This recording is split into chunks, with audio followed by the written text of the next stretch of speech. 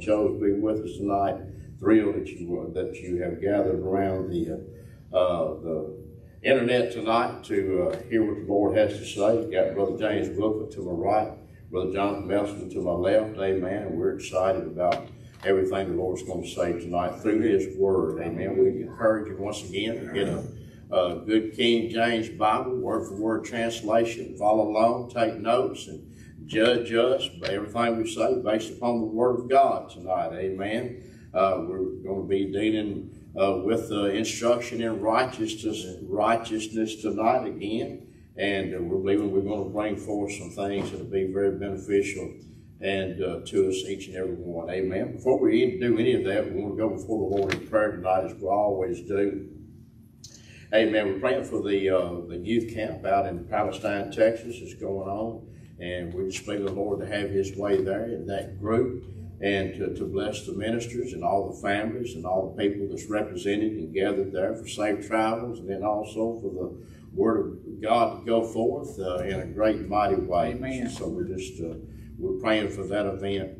And uh, we just want to pray for all the churches across the country tonight. If you're, uh, whether you gathered in this room or whether you gathered uh, by the internet, Facebook tonight, if you have a need tonight, we can't receive your uh, request, but we're just going to believe with you on behalf of whatever uh, it might be tonight. Amen. So if you would, once again, uh, let me encourage you just to join together with us and let's pray together tonight. Amen. Father, we come before you tonight in the name of Jesus, Lord. And we just uh, call upon the name of, that's above every name tonight. Glory to God and the Lamb of God tonight, Lord. We give you praise and glory and honor tonight, Lord. We give you all the glory. Hallelujah. We thank you, Lord, for this great salvation that we have tonight, Lord. We thank you for the blood of the Lamb. We thank you for Jesus tonight. We thank you for Calvary's cross tonight, the great provision, all the benefits. We thank you for the relationship that we have tonight through the blood of Jesus. Great cleansing work that took place at Calvary. We thank you for the righteousness of God tonight that comes by the way of faith in the cross tonight. We give you praise for all of these things and so, so very much more. We thank you for the eternal home and destiny, Lord, that you charted for us tonight, Lord, as we remain and abide in this great faith, Lord. And we pray for the people tonight, Lord, you saw their, their hands lifted, you know their heart's need, their cry tonight, Lord, their petition and their prayer. We're praying, God, for the move on behalf of every single need, Lord. Let there be healing in that sick body tonight, Lord. Let there be, Lord, a healing uh, miracle take place right now where they sit, Lord, from the top of their head all the way down to the very sole of their feet tonight, Lord. Let there be a complete healing in the mighty name of Jesus. Glory to God. Let there be provision, Lord, tonight where there is lack, Lord, tonight. Help us all, Lord, to uh, to flourish and grow in this great gospel, Lord, and prosper in this gospel, Lord. We know it's your will that we prosper as our soul prospers tonight, Lord. And we're believing for growth, spiritual growth tonight.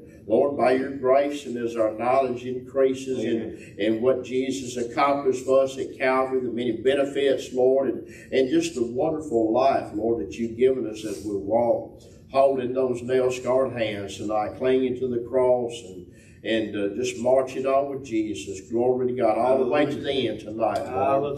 And uh, we just thank you, Lord, for the ministries across the country that you raised up that are still determined to preach nothing but Jesus Yes. Christ and Him crucified, Thank you, Lord. We thank you for each and every one. You, Tonight, we pray, God, that you bless those ministers and ministries tonight in a great way. Draw people to that uh, church house, Lord, Yes. wherever they might gather. Let faith To Lord God, draw people into that hearts. assembly, Lord, that they might grow and flourish and be blessed. Hallelujah. Lord God, by the, the, the only gospel and the message of the cross, Lord. And pray, God. That you bless that minister tonight, Lord, that you strengthen him for the days ahead, Yes, Lord. And, Lord. and Lord, just uh, surround him with your goodness and your Yes. grace and your mercy, Lord. And Lord, we just thank you for each and every one tonight that's in this good fight. Glory to the Lamb of God. We thank you for uh, each and every one, Lord, no matter where they are tonight, wherever you st- strategically have positioned them, Lord, to preach this glorious gospel. We give you praise on their behalf tonight, Lord. We're still glorying in this great gospel, still glorying in the cross tonight, Lord. And here on the home front, we surely need your help. We desire, Lord, that you would help us tonight. Lord, that we would go forth with your word with clarity and understanding.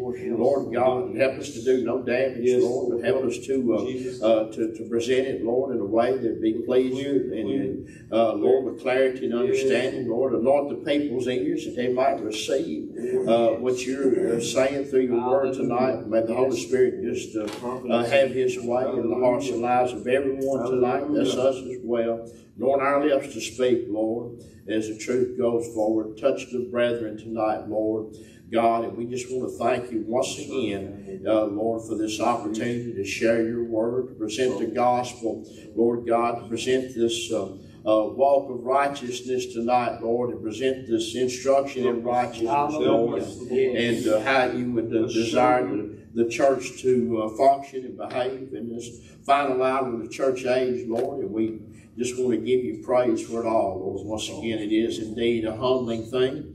Uh, but it is an honor and a privilege tonight. We thank you, Lord, for including us, thank you, Lord, calling us, and including us, Lord, in, in the great uh, plan that you have uh, in this final hour of the church age, Lord. We're just believing for souls. We're believing you tonight, Lord, for uh, spiritual growth. We're believing you for growth numerically, Lord, as people uh, come into the assembly here and also join us by live streaming as well as we go out literally around the world tonight to as many as would be drawn uh, to this outlet to drink of the water of life freely, Lord. And once again, we love you. We give you all the praise, all the glory, yes, Lord. and all the honor. We ask it all in Jesus' lovely name, Jesus. giving you all the praise and all the glory. Amen and amen. Well, praise the Lord. Amen. Lift your hands, give him praise tonight in the house of God. Once again, He's worthy of all the praise and all the glory. Amen. Amen and amen.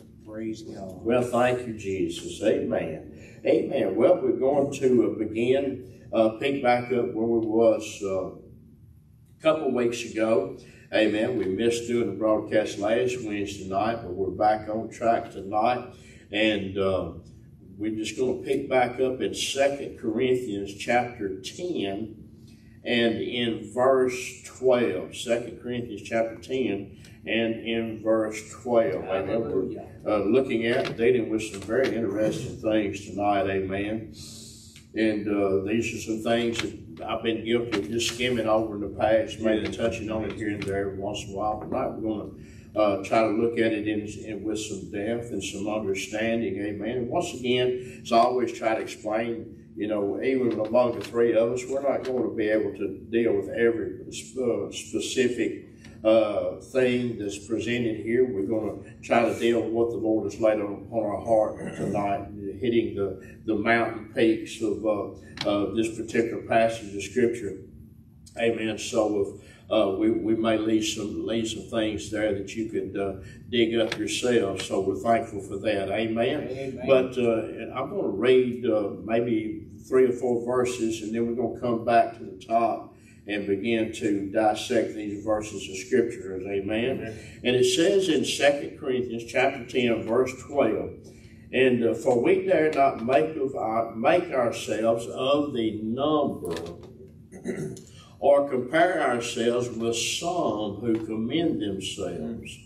But they, measuring themselves by themselves and comparing themselves among themselves, are not wise. That's strong. Amen. Are not That's wise. Yes. But uh, verse 13, but we will not boast of things without our measure, but according to the measure of the rule which God has distributed to us, a measure to reach even unto you. Amen. So this measure that Paul is speaking about includes uh, reaching even unto the church in Corinth. Amen. That's what he's speaking about there. Try to bring some clarity to this in just a moment. Verse 14, for we stretch not ourselves beyond our measure as though we reached not unto you, for we are come as far as to you also in preaching the gospel of Christ, not boasting of things without our measure, that is, of other men's labors, but having hope when your faith is increased, that we shall be enlarged by you, according to our rule abundantly, to preach the gospel in the regions beyond you and not to boast in another man's line of things made ready to our hand. But he, verse 17, but he who glories, let him glory in the Lord. Hallelujah. For, for not he who commends himself is approved, but whom the Lord commendeth. Amen. Amen. Praise the Lord. Who the Lord. Now let's define a few things tonight.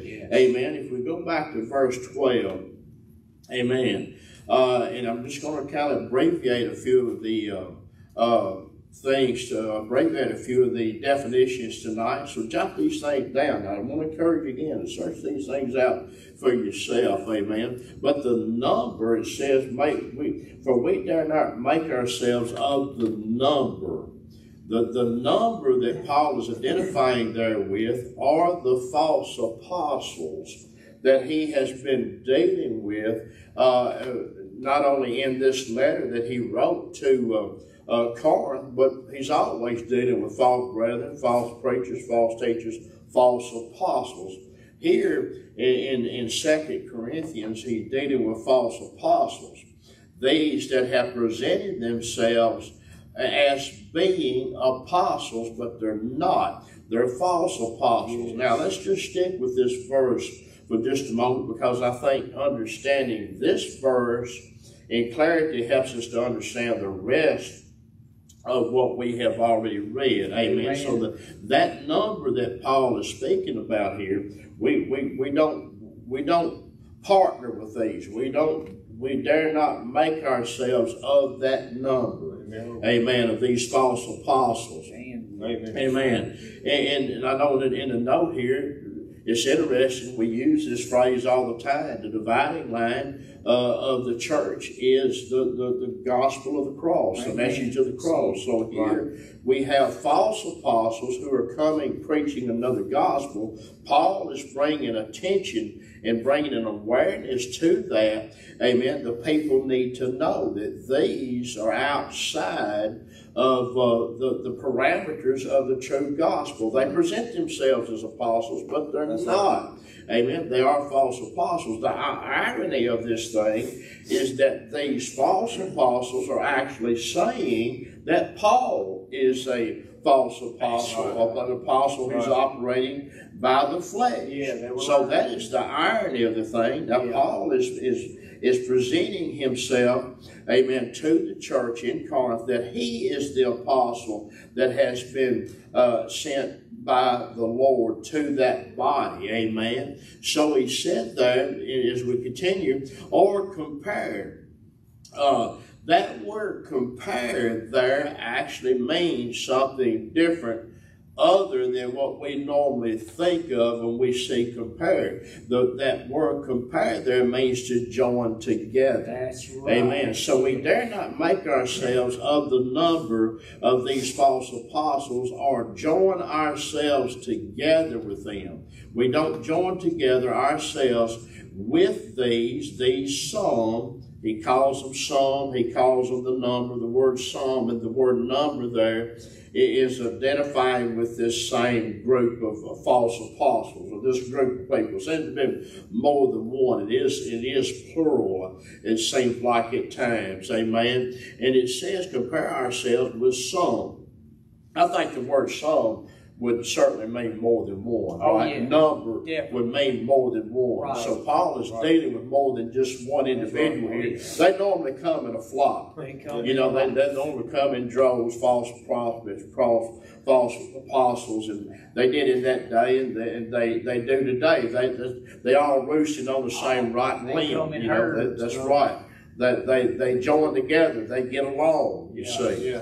And uh, they normally come in droves, amen. Yes, and it says, are join together ourselves with some who commend themselves. Now, the word commend there means that they have uh, been self appointed. They have not been God appointed to their apostleship. It means that they have commended themselves. They have appointed themselves to this position. They refer to themselves apostles, but Paul says they're false apostles. Amen. okay? So, are you seeing this picture? Yes. I hope. And it says, who commend themselves, but they measure themselves by themselves. There we go. They measure themselves by themselves Right. and comparing themselves among themselves. And look what he says, are not wise. Now let me try to bring a little clarity to the what he's saying after that because that's a mouthful. It says, but they measuring themselves by themselves.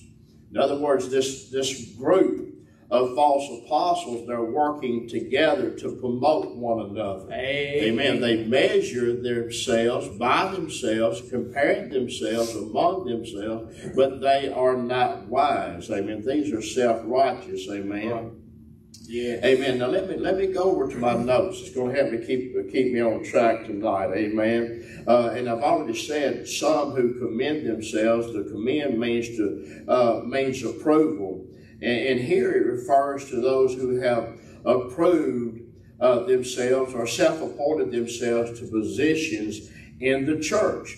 The Lord didn't command or appoint these, but it was all carried out by religious politics. Right. Right. Amen. And, and, and now understand what Paul is saying here. They measure themselves by themselves. No doubt that there were letters of recommendation or commendation that were being sent by others into the church, mainly here in Corinth, but no doubt that it was taking place throughout uh, the, the, the, the churches that Paul had planted. But more than likely, it doesn't say that, but more than likely, these letters were coming out of Jerusalem and they were recommending these particular apostles to the church in Corinth.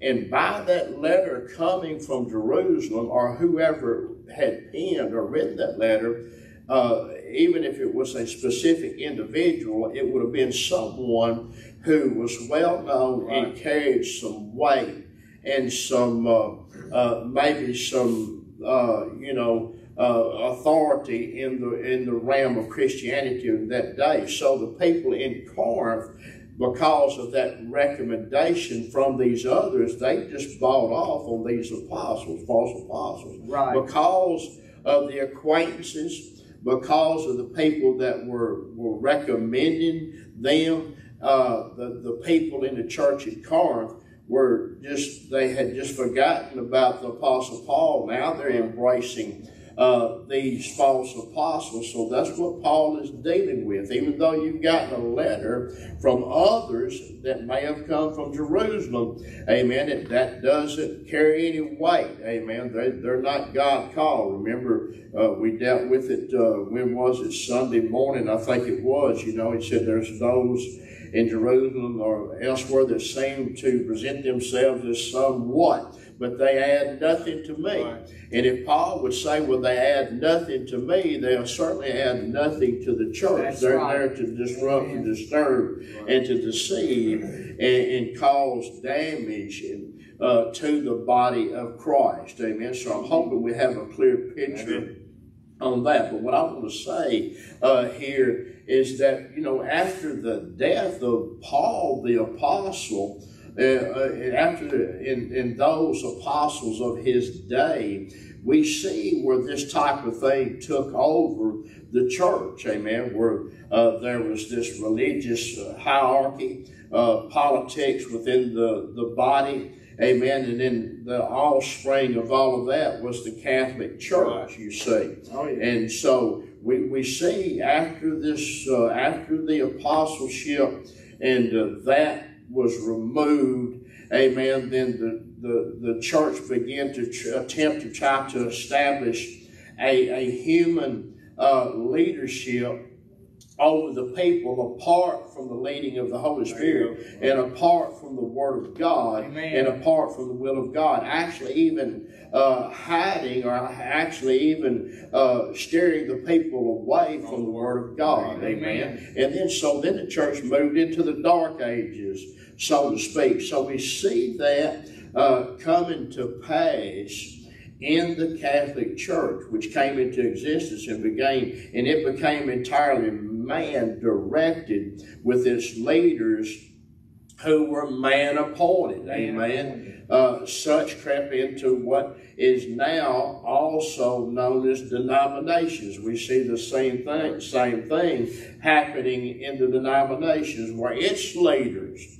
uh, and, and pastors are all voted on. All voted. Amen. Or they're or they're assigned out of headquarters Right. wherever that might be for the for the Church of God. I believe it's Cleveland Assemblies of God. Uh, it's in Springfield, Missouri, but wherever their headquarters are, that you know those places normally pull the strings. You know, they Tell 'em where normally send down orders. You know, and, and, and that sort of thing. So they, they direct the path of the church instead of the church being led by the Holy Spirit. Hallelujah. Instead of the church being directed by the Word of God. That's it. Amen. So we see all of that. So, ladies and gentlemen, this, understanding this, we understand a little bit more about why the Apostle Paul said in Acts chapter 20, I think it was, he said, After my departing, there will be grievous wolves that will come in and just devour Right. uh, the, the, the, the body. Right. And then there'll be those that will come up, eh, come up even among ourselves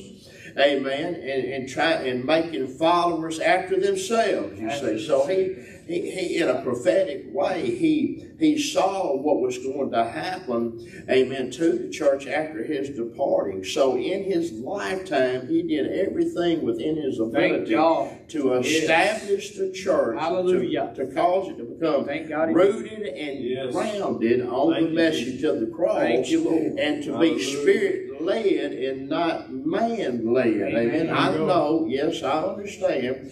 God incorporates men into his strategy of things. He works through apostles, prophets, evangelists, pastors, and teachers. I understand that. Yes. But but the the the the God. main thrust is that we hear from God. What is God saying? The, the the apostle, prophet, pastor, and teacher, whatever he says is to line up with what the Holy Spirit is saying through the Word of God. Amen. And it's not to be a part of that. Apart from that, it's not the, the gospel is not man exalting. The cross or the message, the gospel is Christ exalting. Amen. So here we have these false apostles who were exalting each other right. eh, to, to the people. Amen. Endorsing one another.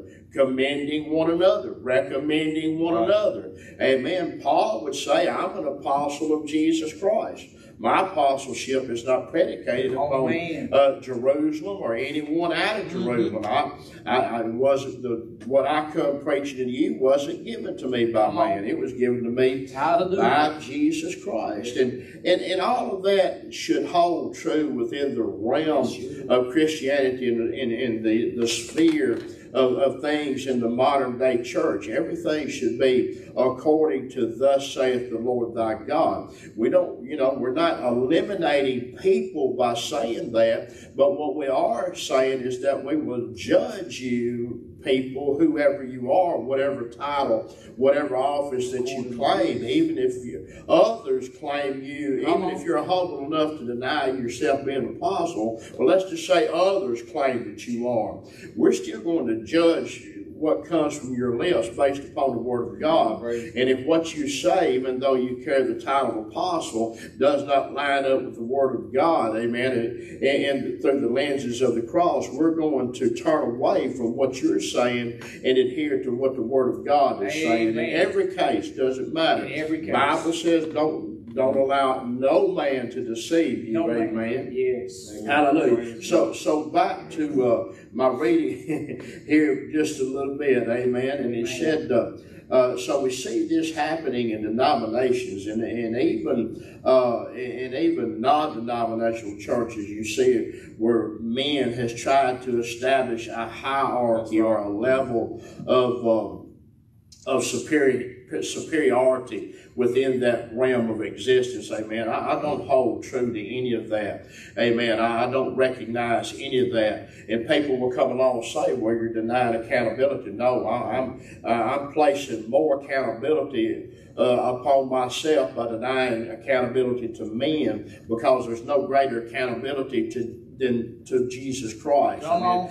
Come on. If I, if I find myself accountable to a, uh, a presbyter or a state supervisor or something of that nature, amen, I've actually uh, decreased my accountability because I'm, I'm showing myself accountable to men. Yes. Apart from that, I'm accountable to Jesus Christ. And that carries far more weight than any type of a, a hierarchy or, or uh, uh, any type of rulership or that right. the denomination might put into motion. Amen. Amen. So we are accountable to Jesus Christ. Amen. Paul, Paul yes. Timothy, amen. Be sure that your ministry, amen, is it lines up with the Word of God. Amen. Right. It, absolutely. Hallelujah. So we see where these uh, uh, denominations, and once again, it can be uh, it can be non-denominational groups. Amen. Right. They, they, they vote their pastors in and they make decisions and, and they pass it on down. Yeah. Amen. From the, the hierarchy in the church. But religious men desire that we ignore the Word of God. Amen. Religious men, those that are, uh, you know, that are tempted to try to rule over others and establish their own way of things, they desire that we uh, ignore the Word of God. That's one of the things that bothers me so much in the cross preaching group or our community when they say, well, you know, our faith is in the cross and it's not in the Word of God. That is 100% true. That is correct. It couldn't be said any better. Faith in the Word is not going to save us or mature us, amen. But however, it, it, Satan will take something like that, and, and he's he can he's he's very subtle, and he'll cause the people to begin begin to believe, Amen, that the studying and understanding the Word of God is no longer important. Right. That now we are saying cross cross, which could be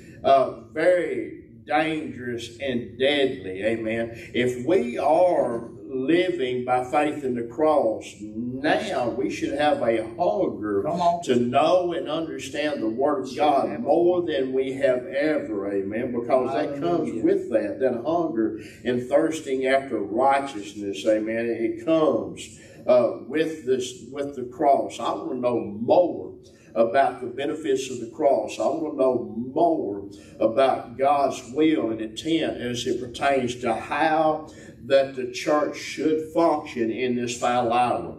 And the church should function exactly in the same way that the Apostle Paul instructed the church to, to, to function in the early church. Amen. He was the master church builder. Amen. If you want to know how uh, the church should operate and function, get in the Word of God, read the, the Apostle Paul's epistles because they were all written to churches in that day and time, instructing them uh, in righteousness, in bringing forth uh, correction, bringing forth re- reproof, bringing forth even encouragement. Amen. But instructing the church how to function and operate in that day and time. So, ladies and gentlemen, if you're thinking that because your faith is in the cross, that it's no longer important to study the, the, the, Word of God, you're, you're treading on very dangerous ground because within, I said it Sunday, within the realm of the cross preaching community, Satan is going to work mightily to try to convince others, amen, to depart from that faith alone and embrace other things. You amen. need to understand what the Word of God says, amen. Yes. Don't depend upon your husband.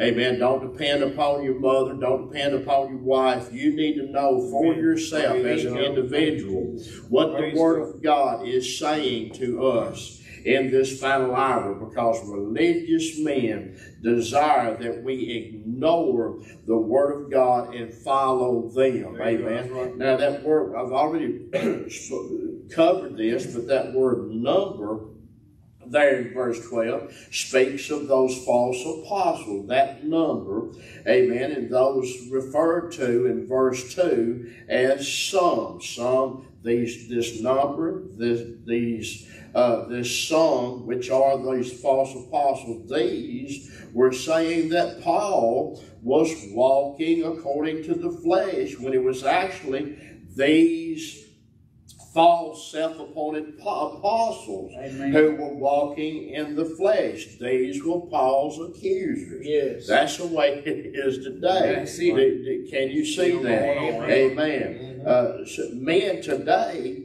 uh, should hear the message that is being preached by those who are being accused of being troublemakers before they agree with the accusers. Come Are you hearing me? Amen. Amen. Men today, whoever, men, women, Whoever today, whoever you are, you should hear, listen to the message that's being preached by those who are being accused, amen, of being troublemakers before they agree with the accuser. Remember what when I Come was on, preach. uh, who was it? Elijah showed up, and who was it? Ahab said, uh, when Elijah showed up, Ahab met him, said, You're the one that's troubling uh, Israel. And, and Elijah said, It's not, it's not me. I'm not troubling uh, Israel. Amen. It's you and, and, and your, and your fathers. Amen. The devil. Amen. There you go. So, uh, the man of God, the true God raised, God appointed, God equipped, God anointed, man of God is preaching the message across. He's not a man of God otherwise. That's right. Amen. Is always going to be accused of being the troublemaker. That's Amen. always been the case. That's Paul right. was. Always But they told Paul said that you know he's um uh you know oh what was it they they said he he was a troublemaker or something else uh oh why why is it I can't think I said it's Sunday. Uh, well, we just have to move along. Get It'll come to me in just a moment. Amen. They call Paul. I hate when it gets like they call him a lot of things. They call him a lot of things. Praise the Lord. But so there you have as it pertains to what he's saying with that word number. And he said, or compare. Amen. That that means to join together or compare. Joins together. It means quite different uh, than uh, uh, what we would think in our mind that it means. It means to join together. We're not to join together with these with this number of, of these that are false apostles. We are to separate ourselves from these. That's- there it is again. God, the Holy Spirit, is always imploring to us through the Word of God to separate ourselves from these false apostles, false teachers, false brethren. Amen. We're not to stand with those. We're not to be a part of what they're doing. We're not to uh, to endorse them. We're not to even invite them into our house. That's the right. Bible says. Amen. So. Uh, we're not to join together. It says, or compare ourselves, join together ourselves with these, some that commend, that are self-appointed, they have self-appointed themselves to the to apostleship, which is being a false apostle. The word co- commend here means that there were letters, I've already said, sent out. You can look at uh, uh, scripture reference 2 Corinthians 3 and 1. Just write that down, check it out for yourself later. Uh, there were letters that were sent out that were uh, that were letters of recommendation. You know, we, we we use that terminology today. You know, for employment. You know, need a letter of recommendation, and and so, so here these letters are coming out of Jerusalem, but they're falsely written. Right. Amen. About false apostles, but the church is buying off on it. And, and the thing of it is, if it would happen then in Oh. that day and time, in churches that were uh, founded by the Apostle Paul, how much more uh, and, and just as easily can it happen today? Amen. Amen. Well, oh, so and so, big name, Reverend, Doctor, you know, uh, Apostle, Prophet, Bishop. Uh, you know, doctor and all of that, you know, with record with uh, doctorates all over his wall, uh, told us to come over here and you let us preach. I had some come into the church once before. It was three of them. They come in and presented themselves as apostles and prophets. They did. They shook my hand. I'm apostle so and so. Three of them. It was interesting. It was almost comical. Amen. There was a tall one. There was one middle height, and there was a little short guy.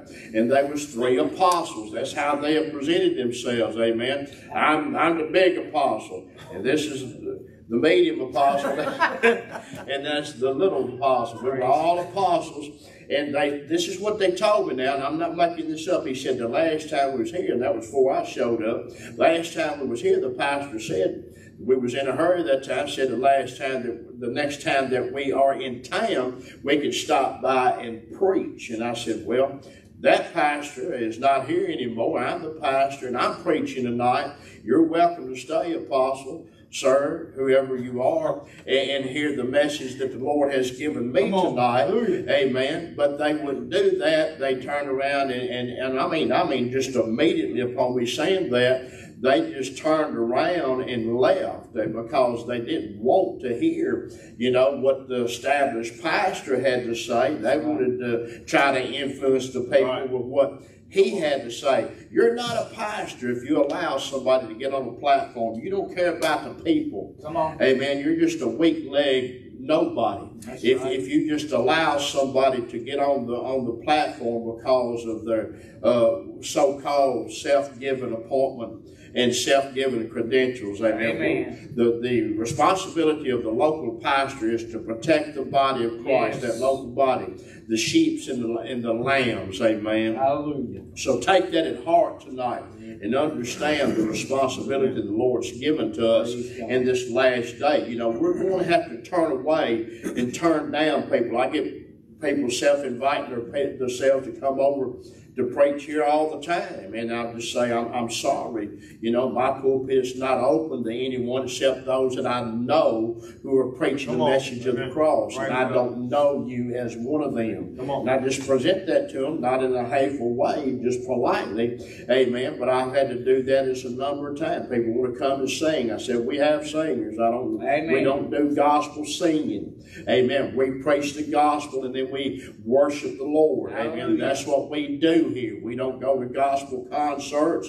We don't do gospel concerts. We worship the Lord. Amen. And we preach the gospel. Amen. Amen. Those are those that are out here doing gospel concerts, they are actually operating apart from the body of Christ. Now they're having to promote themselves to do that sort of thing. Amen. Instead of gathering in the local body and being a part of worshiping the Lord, now they are uh, they're having to promote themselves. Come listen to us. We're having this concert, and they have a following. It's no different than a rock concert that has groupies that follows them everywhere they go. Amen. Amen. We worship the Lord. We don't put on uh, gospel singers. Boy, I can really ruffle some feathers with that. Amen. So now they have positioned themselves. They're they're singing about Jesus, but they're promoting themselves the whole time that they're doing it. Amen. Amen. Amen. So it says here, amen, or compare ourselves with some that commend themselves. Praise the Lord. And so they send out these letters recommending these false apostles coming from Jerusalem. Amen. And, and, and, and such had been written to the Corinthians to, to impress them to receive these false apostles. So we understand how easy that was in that day and time and how easy it can be today as well. Amen.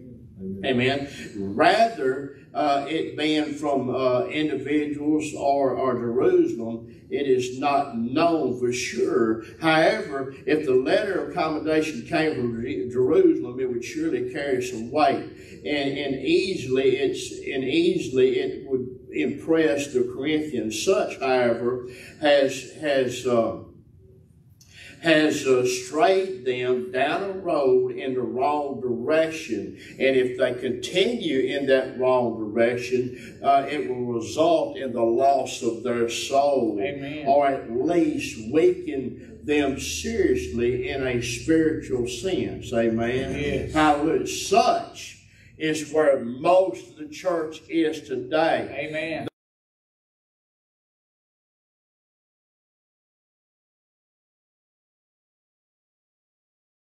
Uh, highly promoted instead of accepting what God is sending in those that God is speaking Oh, amen. through. Amen. Amen. And, and God, once again, is not speaking through anyone who's not speaking the message of the cross. He's not sending anyone to hear anything other than the message of the cross. Amen. Amen. So all that is doing is just weakening the church spiritually. Now, they, they might, you know, they might have relationships. Uh, we identify with uh, some big name preacher, some big platform, some big church. We're identified with them. I hear it all the time. You know, well, we support thus and such. We follow so and so. Amen. And, and there's a when there's a sort of there's a there's a uh, certain amount of boasting in all of that. It's in other words, you know, look at who we are.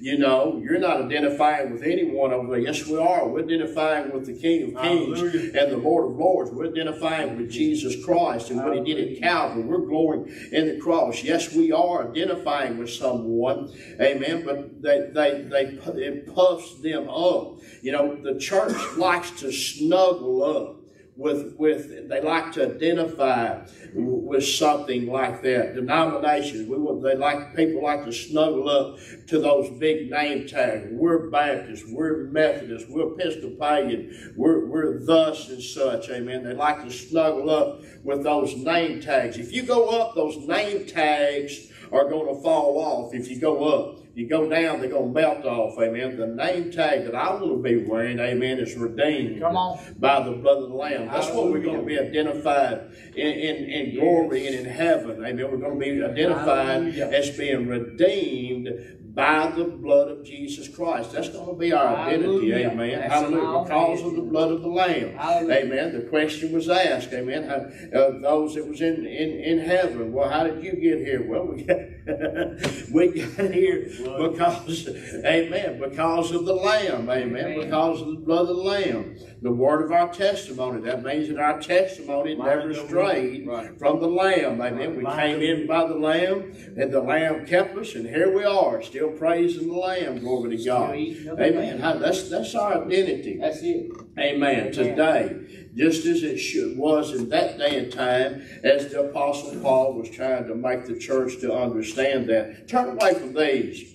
That's what he's dealing with here. I hope we see that. He's dealing with those Amen. that are presenting themselves to be somewhat. Yes. False apostles who, you know, are puffed up about themselves. They, you know, they buddy up and they recommend each other. Amen. Well, you need to have a old buddy so and so apostle over here come and preach. Amen. So they, they they recommended one another, right. and all they did was pulling the church down, down, down, further and further away from the very gospel that the apostle Paul had founded them, founded them on. Amen. Amen. Such is where most of the church is present. Most people, most preachers put the approval of men first, with little thought given to the will of God. Amen. Amen. It's 2 Timothy 4 5. 2 Timothy chapter 4 in verse 5, where Paul told Timothy to make full proof of your ministry. How do you make full proof of your ministry? Not that we're endorsed by those out of Baton Rouge, not that we're endorsed by those out of Springfield. Springfield's over there. Not that we're endorsed by those over in Cleveland. By any man. Not that we've been endorsed by any man. Amen. But we are endorsed by the Word of God. Amen. Make full proof of your ministry. How do we make full proof of our ministry? What makes our ministry legitimate? Amen. Number one, yes, we're called of God, but we've been called of God to line this ministry up according to the written Word of God, not what men think. Amen. There's, there's a huge segment of the, the church that we, that we know that they're, they're not really preachers, they're promoters. Amen. They don't have anything to do or say unless they're promoting that big ministry. Amen. They're just promoting the big ministry. Amen. Preachers, two pre- true preachers of the gospel, they preach Christ and Him crucified. That's what a true preacher is going to do. He's not going to be promoting uh, another ministry or big ministries, amen. They're going to be promoting uh, the, Lamb of God, That's the right. gospel, amen. Who are you beholding? Come on. This is the question tonight. Who are you beholding? Are you beholding the Lamb? Are you beholding uh, men? Are you riding on the coattail uh, of some personality? Now, I've got to stay with this for a few minutes, gentlemen, amen. But that's where most of the church is presently, amen. And, in, and, and Paul said also in 1 Timothy chapter 5 and verse 22, he told, he's instructing this pastor Timothy to be a pastor. Amen. And he said, lay hands suddenly on no man. Amen. That means not to give approval to any man too soon. Amen. Lay hands, you know, the, the, the custom was to lay hands upon those uh, individuals that's being approved for ministry. Yes. Amen. And Paul said, lay hands on no man suddenly, too soon. Amen. Be sure that person's ready for that responsibility and also be sure that they're going to follow after the gospel that I have presented. Remember, we taught it uh, after my ways that they're going to follow after my ways. They're going to preach my ways, and my ways, the Apostle Paul is the cross. We preach Christ crucified. So he said, lay hands suddenly on no man. And then he followed that up and said, be neither be partakers of other men's sins. Sins. sins. Amen.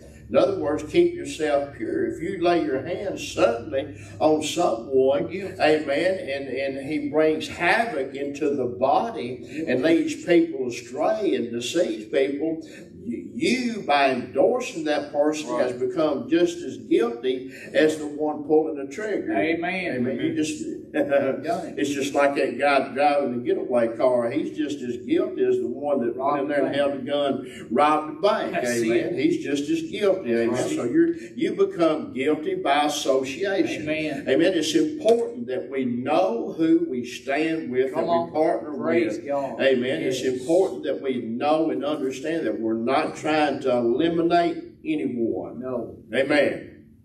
We have been given a, a, ministry of reconciliation. We have been reconciled by the blood, been given a ministry of reconciliation, but in that place, amen, we're calling people to come over to where we're standing, where we stand. We're standing at the cross. We're standing where God is standing. Amen. Is that boasting? We're, we're boasting in the cross. We're glorying in the cross. Hallelujah. Amen. We, we are thankful for what the Lord has done.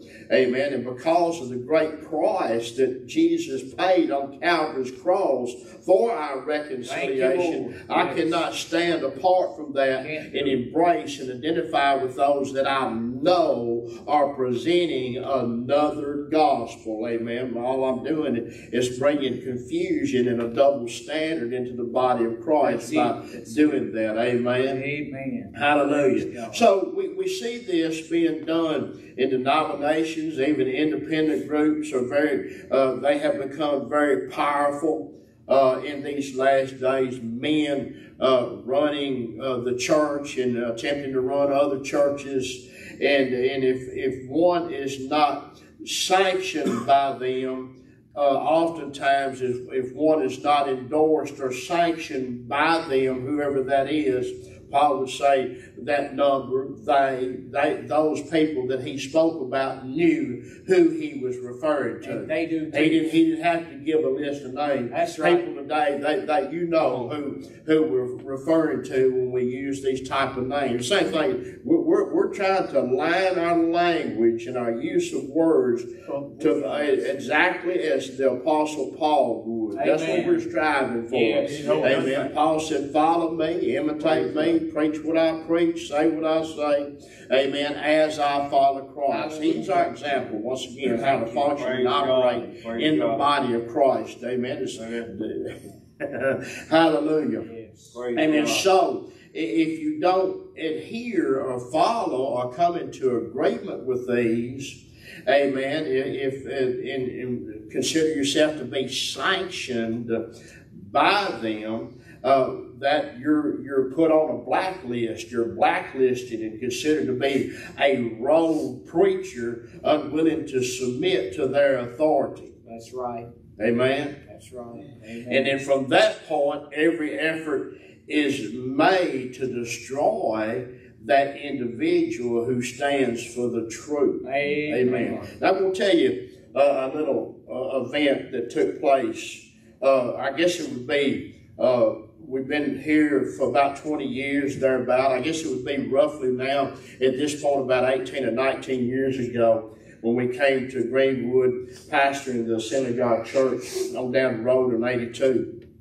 Amen. And then we began to come into the understanding of the message of the cross. And the, more we grew in that understanding, the more I realized that we could not stay in that denomination. Everything was tugging against me to stay there. The people were rejecting the message of the cross, except for a few that are here tonight that came out with us. Brother Jonathan was one of those. Brother Denny, Sister Wendy, Amen. Sister LaQuita, maybe and some others I can't recall. But nonetheless, Amen. Everything was tugging at me.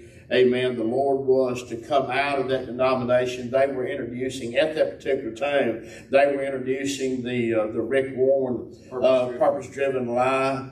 Uh, you know, they were introducing what they were referring to is their vision for transformation. That's how they titled it. It was their the, the assemblies of God, vision for transformation. That's a red With flag. the, absolutely. So I was learning that the true vision for transformation Come was on. to have my eyes on the cross. Hallelujah. See, that's where we were. That we was making a transition Hallelujah. from being influenced by false apostles God. and false leaders, and now there was a true vision that was coming into Glory view, God. and that vision was the cross. You see, Amen. The, in, in the Old Testament, where the prophets were preach or, or teach about, you know, people would perish because they lack a vision. Well, that's the vision that we're talking about, amen. The vision of Calvary, the vision of redemption through the blood of the Lamb. Without that vision, amen, the people perish. Without our eyes focused upon the cross, without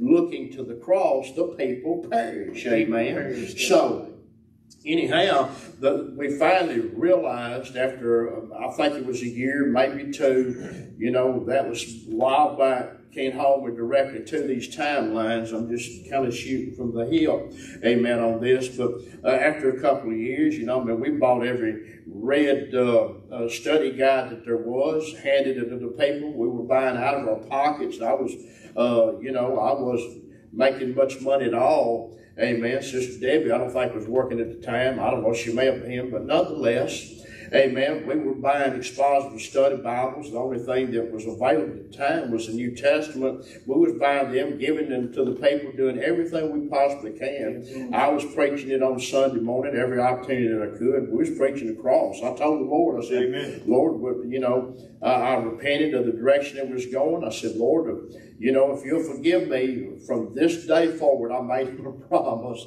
Lord, uh, if you'll forgive me, amen. We've all done that, I think, kind of bargained with the Lord a little bit. Lord, if you. because I felt like I had, I had, you know, I had, you know, I felt like I had done so much damage and had hurt the Lord so bad by the things that I had been preaching. I told the Lord, if you can find a way to forgive me, Amen. Uh, From this day forward, I will preach the message of the cross. And by the grace of God, amen, we've held true to that. By his help, amen. Amen. We've held true to that. Amen. But nonetheless, we finally come to the place after a couple of years, we realize we cannot stay here, amen, and carry out in, in the will of God.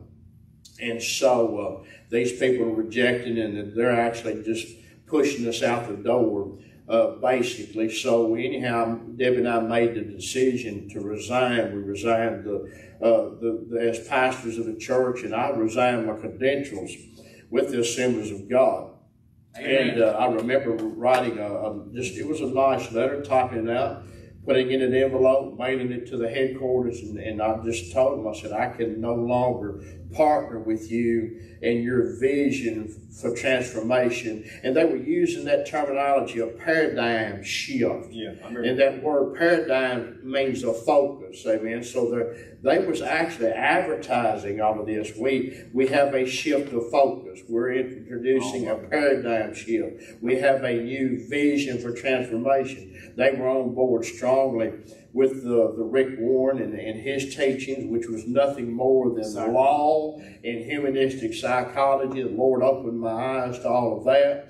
So anyhow, I sent a nice little letter, amen, to the, uh, not hateful, amen, but just flat told them, you know, I can Right. no longer partner with you in the things, direction that you're handed, headed. And uh, I've just sent my little card back to him, my little credential card. Just, you know, you carry it around in billfold and stuck and sent it back. I'm done. I'm done with you. This is, we're moving on. Didn't know what we Hallelujah. had no idea what we was going to do at that time. Hallelujah. I just knew we had to cut rope with them at that time, Hallelujah. amen. And uh, this is me. I mean, a lot of people out there are not going to agree with me. I, I can't help that either. This is me. This is right. this is what the Lord, how the Lord Praise dealt God. with me. I can no longer uh, represent the exclusive message of the cross and then uh, uh, identify Right. with what the Assemblies of Right. God was promoting. Amen. Amen. so we had no idea what we was going to do at that particular time. I really didn't want to start another church because I felt like I had failed at there. But nonetheless, uh, I sent that letter to him, and I didn't hear anything back. In, in my mind and in my heart, it was settled. I have Amen. resigned. You know, I've left y'all. We we we we just walking away. Amen. And uh, I resigned. So I didn't hear anything out of them, but several months later, it was that long, it was a long time, they, the Assemblies of God out of the office in Springfield, the, the national office, they sent me a letter and said, we have decided not to accept your resignation. so, but we have decided to, uh, to uh, terminate you as pastor. So what that did, you know, inst- instead of accepting my resignation and saying we're not going to accept the resignation, we're going to. I don't think it was the word terminate. Help me think of discharge or something. A, a, a word, something similar to that. Terminate, discharge, something of that nature. That word, something, but it meant that what I'm just saying. So we we're, we're, we have decided to uh, discharge you, uh, and and what that did is put them in the controlling position. You see, Right. instead of them accepting my leaving and resignation, that put them in charge. We decided we're just going to terminate you. You're not a pastor. That's right. Amen. And so that put them in the controlling seat.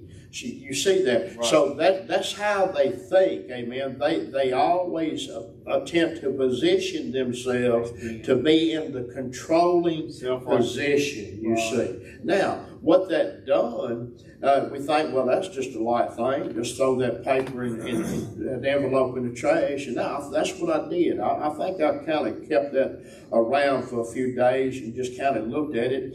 And I think I finally threw that away. But what that does now, if you understand the structure of the denominations, they they send out a, a quarterly letter, uh, a report to all of the assemblies of God in the United States, and on that they within that report they have a, a piece of paper that identifies the names of new ministers, and then the names.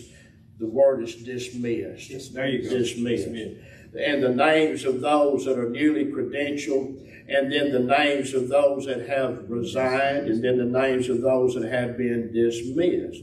Well, they put my name in the bracket of being dismissed instead of resigned, as I've already explained. But what that does, see, that leaves within the community of all the AG churches, that leaves them speculating as to what was he dismissed for. See, that's not explained, you see, by them taking control of that situation. So it, it, it it's really uh, evil if, when you Right. think about Sure it, because it leaves the people to speculate. Well, what did he did? What did what did he did? What did he do? Was he uh, did he misbehave in some way? Was he, you know a child molester? Just left it wide open for the church to speculate and Right. make up their own decision. You see, but that is what happens, amen. When men Come on. rule the church, amen, they yes. have to present themselves in, in control, and all of that was was presented in that way to protect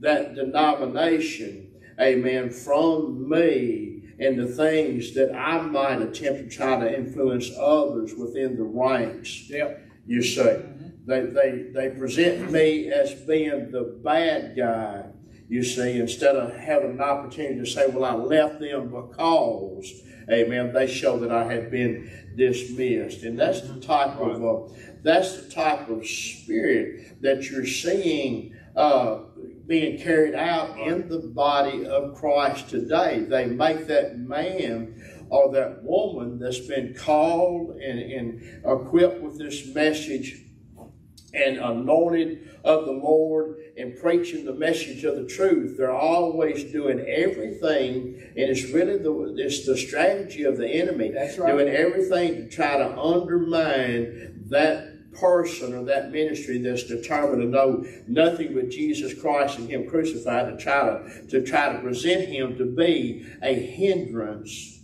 and to be an evil doer. That's what Paul said. He, Yeah. he said they, you know, I've been made to look like an evil doer. Right. They make you look like you are an evil doer when they are the ones that are operating, operating Right, by the that's right. flesh. They are the ones that are doing the evil by holding back the, and suppressing the truth Amen. and holding back, uh, you know, uh, the, the message of righteousness and suppressing all of that in unrighteousness. So that's where we are today. Thank God. And that's, uh, that's, that's the reason I can relate so well Yes. to what's being said here. Paul said all of that is not wise. Amen. He said, they, Paul said, such is not wise. Such is, is, is self righteousness, righteousness where they made themselves, they made, listen to this, they made themselves the standard of excellence. That's right. You see, you have to live up to our standard. You say they remove uh, the Word of God as our standard. Amen. They remove that as our standard Cross. and, and say we have to live up to their standard Right. of excellence rather than Christ. Amen. Second Corinthians. So here we go. Second Corinthians four and eleven. The Holy Spirit is always not handing us over to man, not handing Amen. us over to the hierarchy of the body of church or to religion. The Holy Spirit is always handing us over to the cross.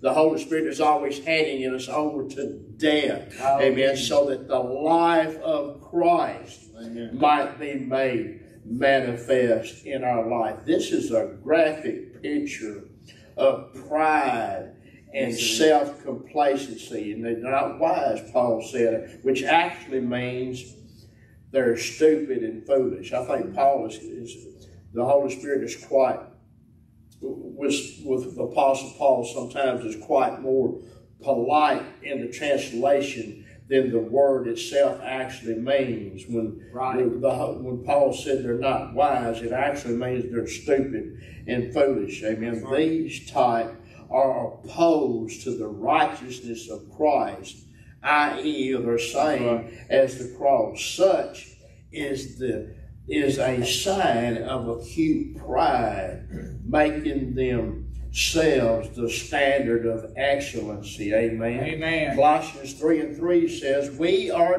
dead, Come on.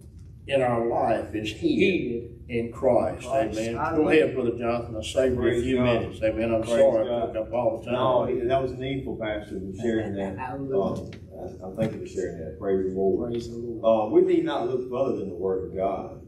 The Word of God, you know, it, it speaks for itself, and the bottom line is people do not, they do not want to go by God's standard of righteousness.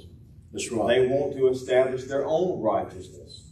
You know, as the Bible says in Romans 10, you know, you know, he said that about the Jews. Paul wrote about Israel. It is my desire and prayer for Israel that they might be saved. That's right. But they went about to establish their own righteousness have not and have not submitted themselves unto the righteousness of God, which is Christ and Him crucified. Um, let me look at verse 13 for uh, for a second. I want to explain something about, Yes. about this. But we will not boast of things without our measure, but according to the measure of the rule which God has distributed to us, a measure to reach even unto you. The word measure, uh, right there in rule, has to do with you know God has, has set He's He's measured out um, our our ministry and a ministry that for each one of us He's measured out our own our ministry that every one of us has, and and the rule is the like a boundary the measure and the rule is the you know God is measured out for each one of us. Just even though we know God's will for every one of us is to be saved and sanctified, that's the, that is God's will for everybody. But but all also the measure and the rule is what God has given.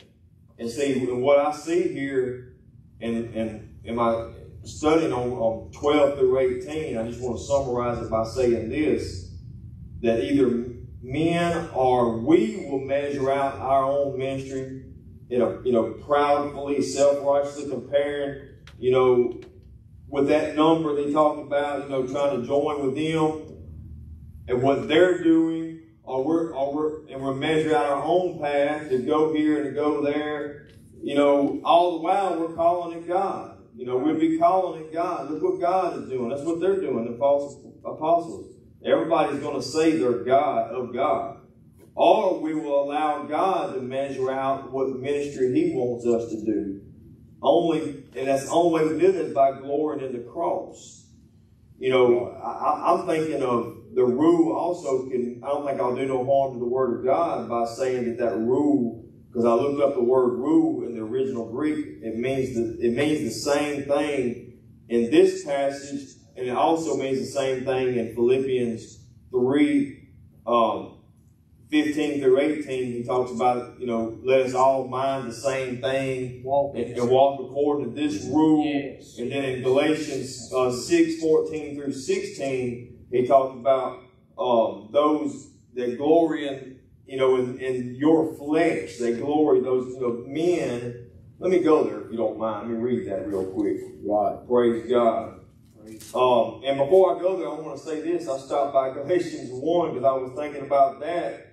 Um, you know, how Paul, when he received the message of the cross, you know, he, he didn't consent with Jerusalem. He didn't go, you know, ask them what they thought about it. He didn't go to Jerusalem. He, he received the message of the cross from directly from Jesus Christ, the, the meaning of the new covenant. You know, he didn't go down to uh, Jerusalem. He didn't, you know, ask them their permission to preach it or, or what they thought about it. He knew what God had given. He knew that he heard from the Lord. And um, so he received the message of the cross. So the standard and the rule is, is if we don't have proper faith anchored in Christ and crucified, we will be deceived. I was looking at, um, you know, First Corinthians chapter 3, he said, you know, I have laid the foundation and let everyone take heed how he builds upon this foundation. Then he goes on to say in verse 18, if he says, let no man deceive himself. If any man think, if any man thinks himself to be wise in this world, let him become a fool that he may be wise. You know, that's something to take note of. If any man thinks himself to be something, you know, to be wise, let him become a fool that he may be wise. And what that means is we're going to be counted as a fool for Christ. When you know, when you're following Christ and the cross, you're going to be looked at as a fool, but you see, you gotta, you gotta, you gotta take, you gotta take up the cross. And it doesn't matter what people think about you or say about you. You gotta, you gotta be willing to become a fool for Christ's sake. You know, if not, you're going to be, you'll deceive yourself because you'll be, you know, among those that we talked about already. You know, which is contrary to the Word of God. So everything we need is in the Word of God. If, if people would just see it, you know, if they would just, you know, seek after truth. But uh, Galatians 6 starting in verse 12, it says, And as many as desire to make a fair show in the flesh, they constrain you to be circumcised, only lest they should suffer persecution for the cross of Christ. For, they, for neither they themselves who are circumcised keep the law, but they desire to have you circumcised, that they may glory in your flesh. Everything Pastor Voss has been saying, you know, about the denominational world and, and what Paul said there in 2 Corinthians 10.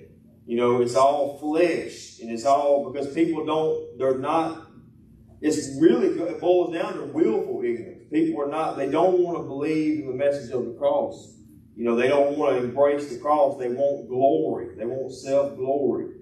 You know, but God, Paul said, but God forbid that I should glory, save in the cross of our Lord Jesus Christ, by whom the world is crucified unto me and I unto the world. For in Christ Jesus neither circumcision availeth anything nor uncircumcision, but a new creature.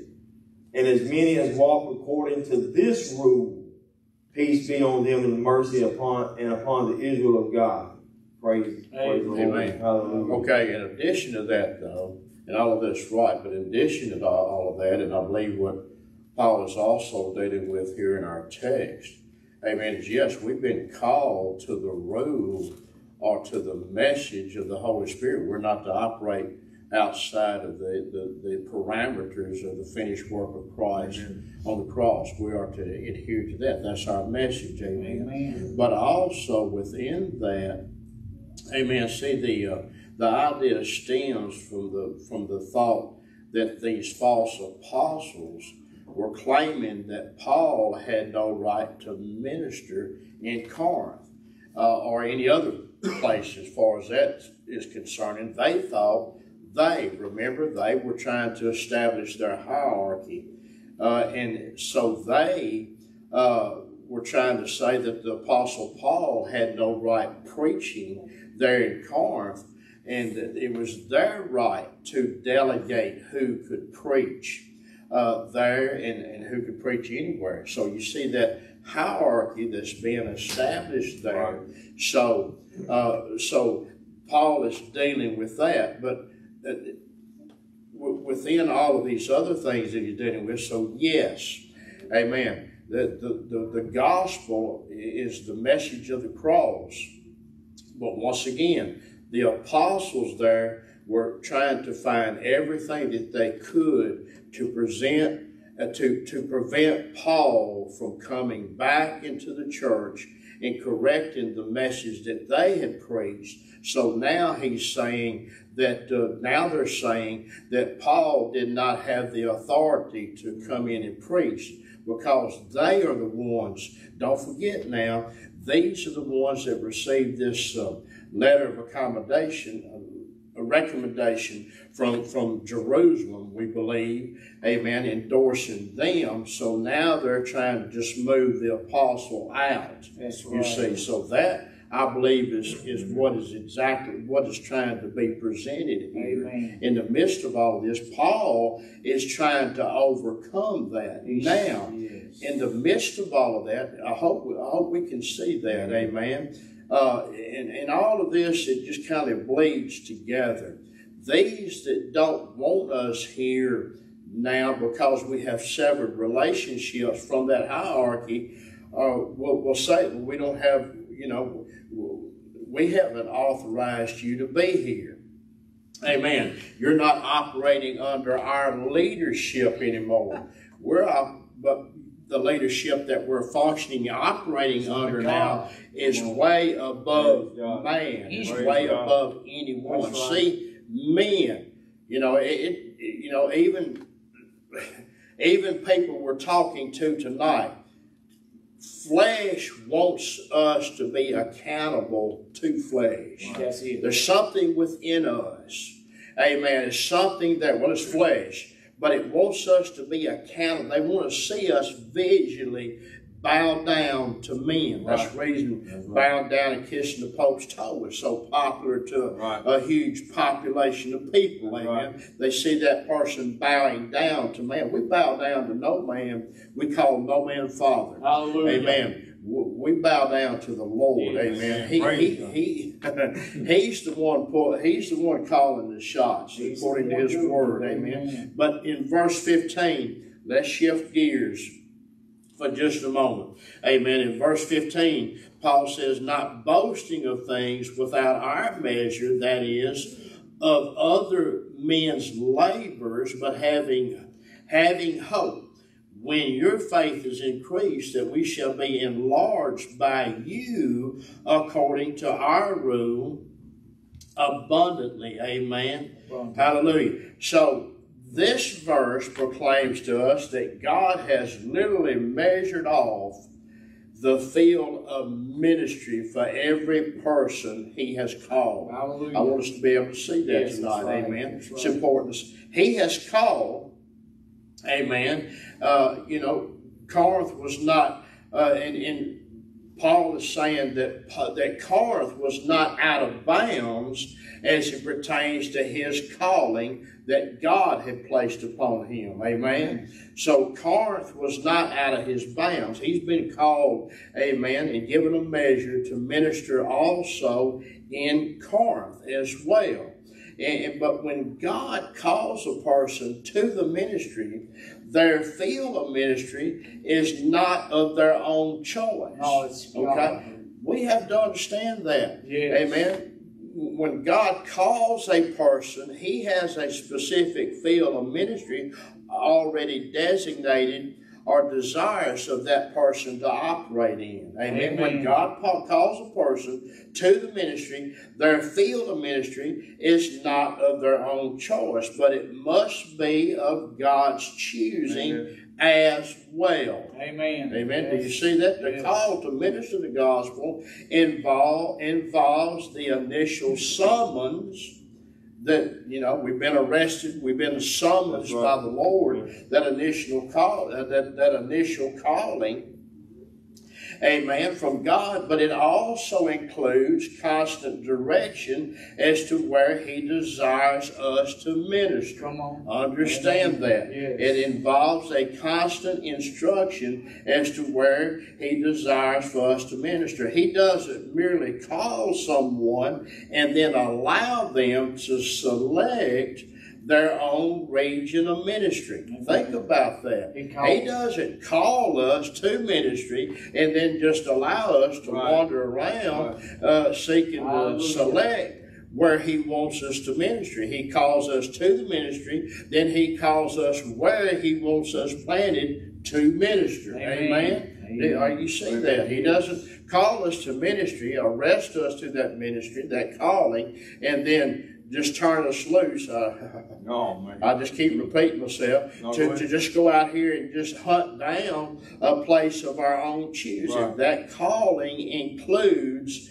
that place Amen. or region Yes. of ministry. Uh, You know, oftentimes the field, though, however, is no further than wherever we are right. than the place of their calling or divine summons. Amen. Amen. Glory Hallelujah. God. Most of those pastors who ministered in the churches of Paul's day never moved beyond the region that church was planted in. They stayed right there. Now, let me move. I'm sorry, Brother James. Let me move into verse 16. It says to Paul says to preach the gospel in the regions beyond you and not to boast in another man's line of things made ready to our hands. So now Paul is sort of, sort of shifting gears here, to so to speak. He's, he's somewhat leaving, uh, talking about these false apostles that were saying that he wasn't qualified to minister in, in, in Corinth and elsewhere because they were the apostles.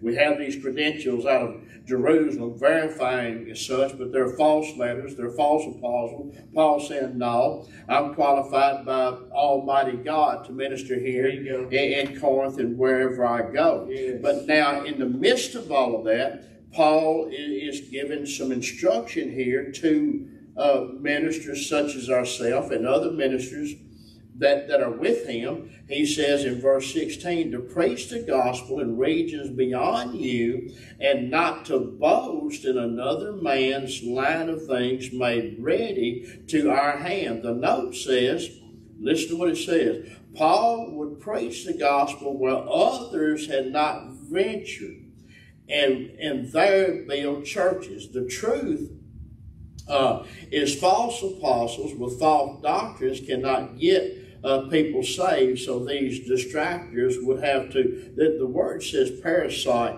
I don't know if that's a misprint. If it says parasite Paul's converts, that means to infect them, yeah. or if it, if it actually means to proselytize, which means to move away disciples after themselves. Right. But nonetheless, I want to deal with the first part of that comment and that statement that uh, that that Paul made there. Amen. What Paul is saying is that he would not venture into a territory that was already being ministered to that region. He wouldn't venture into that region that's already being ministered to by a by a preacher who is preaching the message of the cross. Amen. Right? That's what ministry was all about then. That's what ministry is all about today, or it's not true ministry. Right. Amen. So Paul is saying, you know, I wouldn't I wouldn't invade another man's territory just because I'm the apostle Paul. Amen. That man is laboring in the field and the the rule, the, the parameter, the measure that God has given him to minister in. You see, that is your broad picture of what's being say, said there. Amen. So that man is is uh, is is instructing that region in righteousness. He's preaching the message of the cross. So why would I think that I should invade that territory and begin to establish churches there when there's a whole uh, Roman Empire out here for me to, to move into. But understand, it wasn't by choice that he did those things. He did what he did, went to where he went because of the leading of the Holy Spirit in his life. He was ever seeking the leading of the Holy Spirit. Amen. Amen.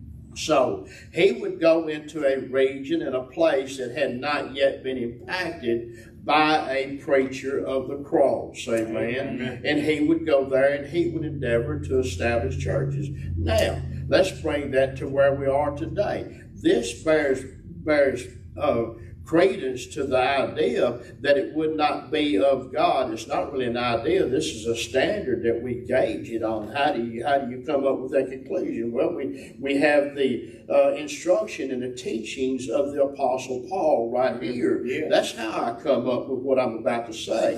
It would not be God's will to go five five miles down the road from Crossway Ministries and start another cross preaching church there.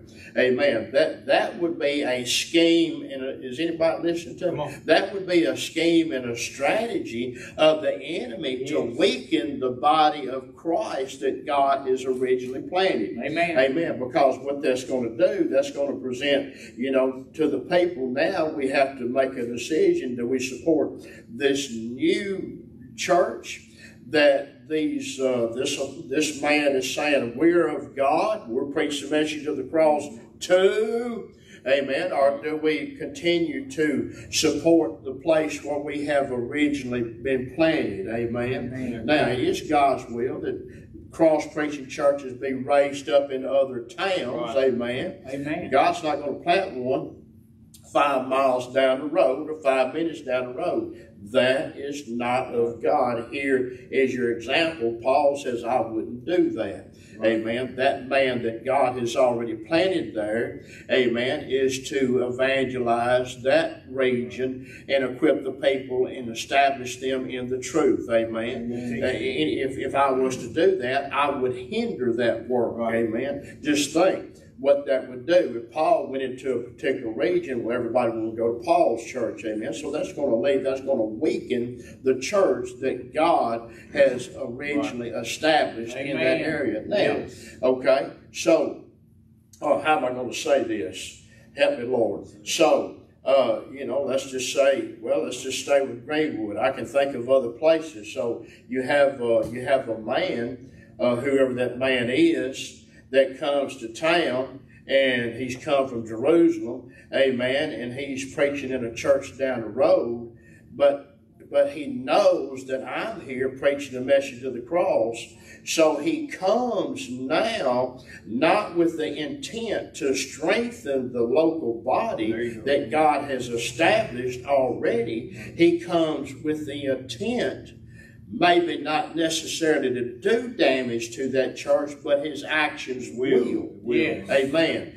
He comes now not because he cares for the body and God's will and God's work for that region. Amen. Now he comes to line his pockets. Amen. He's now he he knows well I can preach down the road and get a good offering over there. That's what it's all about in a lot of situations. It's all about an offering, a love offering. It's all it's all about it's all about money in a lot of situations. Amen. of situations. Wherewith a true man of God, he's going to turn down and invite or, you know, most of these preachers, they invite themselves to say, I think it'd be good if I come and preach for you. I've had to turn down a lot like that. Amen. So, uh, you know, he's not working for God. He's not trying to help that local pastor build up that church.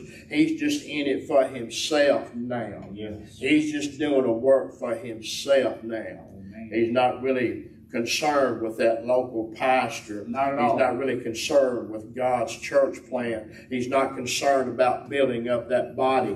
He's Amen. just all now. He's the one that's operating from the flesh. Amen. There's a lot that can be said about all this. I guess we cut Brother James off tonight. I'm so sorry, brother. We'll give you more space next time. Maybe right. maybe I said too much. I said some things I felt like I really was hard pressed to say tonight, and, and I sure hope that the things that we have said has been beneficial to you, that you understood I hope they uh, the, the things that we presented tonight. These are things that very rarely anyone ever uh, deals with or talks about. When we teach a particular uh, uh, letter or epistle, verse by verse, we run into situations like this where we, if we have a choice, we either just overlook it, skip it, or we deal with it. My choice is to deal with it. Uh, Amen. Amen. So we present this to the body of Christ tonight.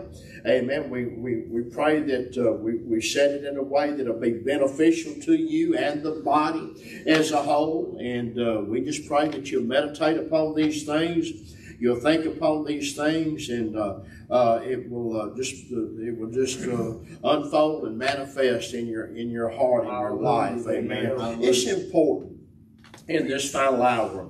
Uh, how, what we do here on a local level, it's important how we uh, involve ourselves in the, the strategy of God Yes. in this final hour, amen. To, to raise up ministers and ministers across the country, it's important that we know who to support and it's important that we know who to turn from. Amen. And we, we need the, the ability to discern right. in this final hour.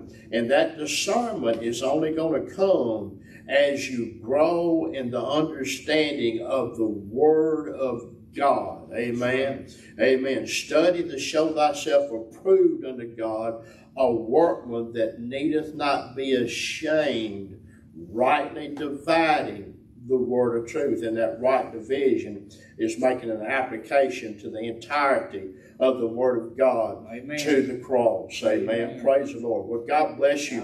We're, we're delighted and thrilled again tonight Praise that God. you saw fit to join us. Be back with us Praise Sunday God. morning uh, as we worship our great God, preach the message of the cross. Hope to see you then. God bless you. Amen. Love you, each and every one. Hallelujah.